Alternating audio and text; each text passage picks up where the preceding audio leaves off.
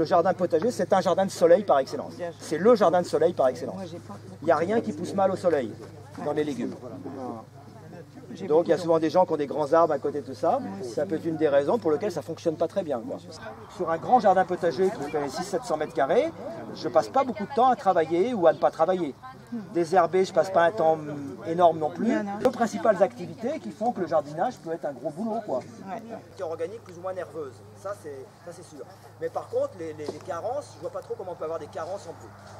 En bio, c'est rare, vous amenez un fumier ou des, des amendements de ce type-là au jardin, ou un mélange de gazon avec des feuilles, tout ça, très rapidement, vous avez tout ce qu'il faut pour bouffer. Par contre, votre sol est peut-être pas assez actif pour aller débloquer le phosphore, tout ce qu'on dit, voilà, en termes de mycorhize, en termes de tout ça. Ça garde bien l'humidité, ça peut durer longtemps, et, et ça empêche un peu les limaces, on dit, de circuler, euh, parce que c'est un peu, mécaniquement, ça gêne. Après, c'est un peu luxueux en termes de... Sur, sur une semi-vivace comme des fraisiers, c'est... Après, la paille, c'est pas. euh, les feuilles qui tombent de l'arbre, c'est mieux que la paille. Hein. Ce serait mieux d'avoir une- un sarrasin breton euh, bio qui est cultivé tout près là à côté. Euh, un foin éventuellement, des, des- des déchets de culture, du bois broyé. M'en fous. Le, le foin qu'on met en surface, il n'a pas de raison de grainer. À la limite, on est plus embêté par des pailles, sales en blé, que par des foins qui seraient chargés de graines. Le foin qu'on laisse en surface, en grosses couches comme ça, il n'y a aucune raison que ça germe. Ah ouais. Et par contre, le foin, on peut faire du compost avec un foin. C'est-à-dire qu'avec une paille, on ne peut pas faire de compost. Une paille, c'est trop déséquilibré en carbone. hein. il manque, il manque le, le verre. Tandis qu'un foin, c'est quasiment le bon équilibre. euh, C'est quasiment aussi riche qu'un qu'un fumier de vache, un foin. Ce qui sort de la cuite de la maison. J'essaye d'en avoir le moins possible, donc de, laisser le plus possible au jardin. Quand, voilà. Il y a toujours le marc de café, il y a toujours bon, le- les déchets de poulet et machin, le poisson.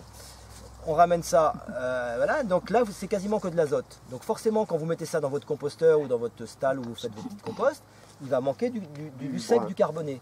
Donc il faut avoir à côté de la paille ou des feuilles mortes, euh, voilà, ou du carton ou du foin qui serait un peu sec, ou voilà, parce qu'autrement vous allez vous, vous baigner votre poubelle dans le- votre composteur, ça va aller vers une putréfaction Ah rapidement, oui, ça pue, euh, et c'est comme un gazon qu'on laisse dans une brouette après une journée comme ça. Le, le soir, il fait 70 degrés là-dedans. Donc on, on va très vite vers une putréfaction. Et de l'anti-compost.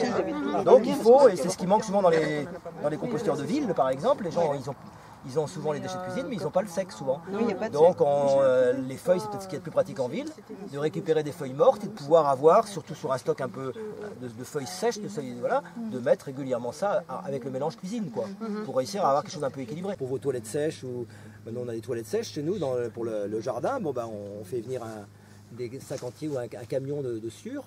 Donc on peut très bien mettre ça en, en apport carboné dans le compost, euh, dans le compost cuisine. Quoi, Et la compost. cendre? La cendre, on est sur un engrais. On est sur un engrais minéral. Grosso modo, pour résumer la cendre, le meilleur est parti en fumée et le moins bon est resté. Il faut partir de cette idée-là. Ah bon, il n'y a rien de bon là-dedans? C'est pas que c'est pas pas bon, mais ce qui reste, c'est le moins, c'est c'est le, c'est du minéral pur. On est sur de la potasse, du calcaire et tout ça.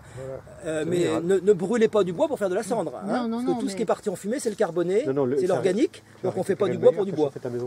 Par contre, et d'abord, on a de moins en moins le droit de faire des feux, euh, des feux de joie dans, dans la, dans la nature. hein, bon. Mais par contre, vous avez de la cendre de cheminée ou de poêle, tout ça, donc évidemment l'amener au jardin. Mais attention à ce qu'on appelle des phénomènes de glaçage. On est sur un engrais potassique presque pur. hein. Ça peut amener du calcaire de façon intéressante. Donc on pourrait presque faire son amendement calcaire avec ça. Mais attention à la dose. Voilà. Amener ça pour la potasse et le calcaire plutôt sur des engrais, des, des légumes qui aiment bien la potasse.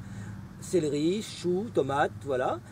Mais n'en mettez pas 10 fois la dose de cendre, une couche épaisse comme ça. Parce que là, on peut arriver à des blocages complets.